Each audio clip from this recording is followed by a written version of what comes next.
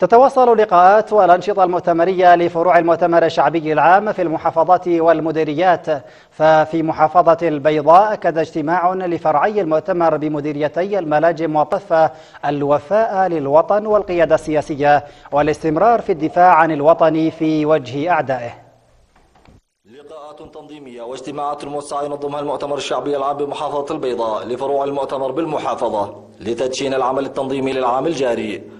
وفي اللقاء التنظيمي الموسع لقيادات وكوادر وأنصار المؤتمر الشعبي العام بمديريتي الملاجم والطفة والذي ينعقد بعد عامين من الاستهداف الممنهج لمخدرات الوطن ودخول العام الثالث في محاولة فاشلة لطمس منجزات عملاقة تضاف إلى رصيد المؤتمر الشعبي العام ومع تواصل اجتماعات التنظيمية الموسعة يؤكد على قدسية الدفاع عن تراب الوطن والحفاظ على مقدراته والتصدي للغزاة كواجب ديني ووطني وتوحيد الجبهة الداخلية لمواجهة كل التحديات.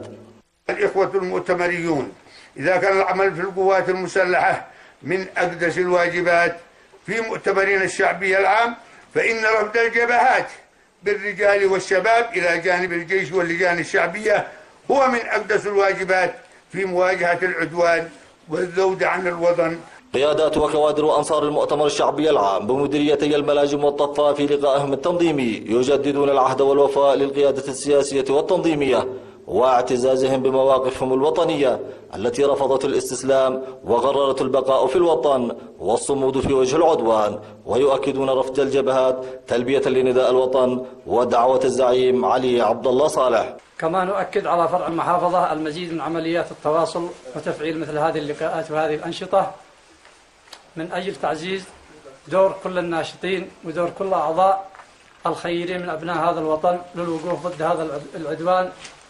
نأكد قيادات وأنصار المؤتمر الشعبي العام بمديرية الملاجم والضفة تأكيدا وقوفنا إلى جانب القيادة السياسية والتنظيمية ممثلة بالزعيم علي عبد الله صالح ونؤكد بأن العدوان الغاشم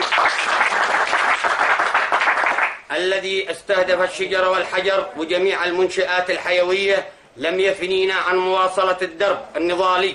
ويجب أن يهب الشعب المؤتمرين هبة رجل واحد تلبية لدعوة الزعيم علي عبد الله الصالح حفظه الله في أن نرفد جبهات القتال أو جبهات المواجهة مع العدوان. عدد من الكلمات والمداخلات تخللت اللقاء التنظيمي أكدت الوفاء لدماء الشهداء وتفعيل دور الشباب والمطالبة بإعادة اتحاد شباب الميثاق أشم لا يظل المؤتمر كما عهده أبناء الوطن الحزب الرائد. عبد العزيز الملجمي اليمن اليوم محافظة البيضاء.